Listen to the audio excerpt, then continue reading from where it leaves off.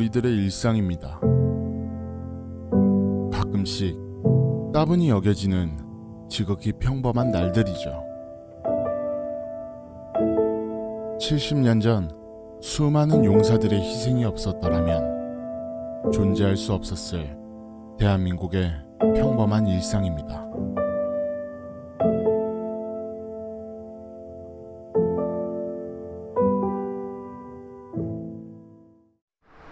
서울시 동작구에 위치한 국립서울현충원.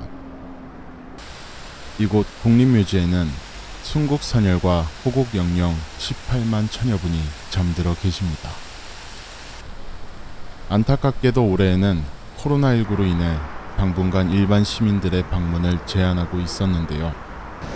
멀리서 온 추모객분들은 이 소식을 듣고 아쉬운 발걸음을 돌립니다.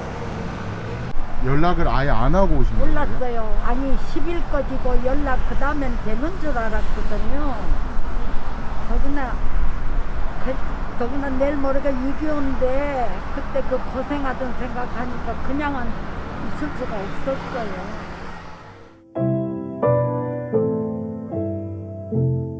1950년 6.25 전쟁이 발발한 지 벌써 70년이 흘렀습니다.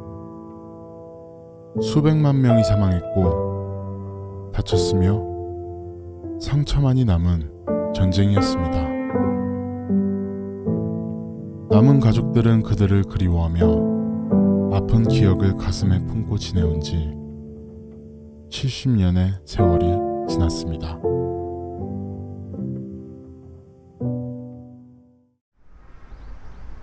현충탑 참배를 하러 이정표를 따라 걷다 보면 저 멀리 높게 솟은 현충탑이 보입니다.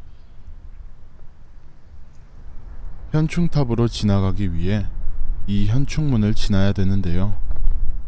현충문을 지나면 우리가 국가 행사 때 TV에서 자주 봤던 현충탑이 나옵니다.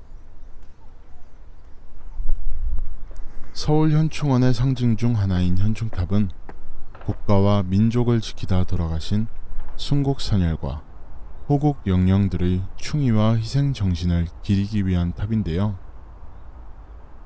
대한민국을 위해 돌아가신 분들께 감사하는 마음을 갖고 현충탑 앞에서 참배를 드렸습니다.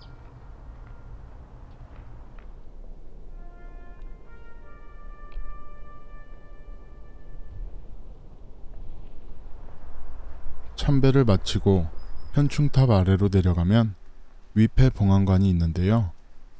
이곳엔 6.25 전쟁 때 나라를 지키다 돌아가신 분들 중 시신을 찾지 못한 10만 4천여 호국 용사들의 위패와 위패 봉안관 중앙에 있는 영현 승천상 지하엔 시신은 찾았지만 신원이 확인되지 않아 묘소 안장을 할 수 없는 7천여 무명 용사들의 유해가 있습니다. 영현 승천상 앞엔 6.25 전쟁 전사자에 대해 기록한 명부가 있는데요. 매일 아침 해당 날짜에 전사한 전사자를 기리는 추모 명부식을 한다고 합니다. 위패 봉안관을 둘러보던 도중 6.25 참전 용사의 유가족을 만날 수 있었는데요. 전쟁 당시 공군으로 참전하신 유찬상 중위님의 여동생 분이었습니다. 그러더라고요. 근데 분명히 이 시신이 뼈다구가 좀 다 썩어서 어디 있을 거예요. 분명히. 그래서 6.25 사변이겠어요. 군대 나간 지 그러니까 1년은 조금 넘어갔고 그래갖고 68년 됐어요. 돌아가신 지가.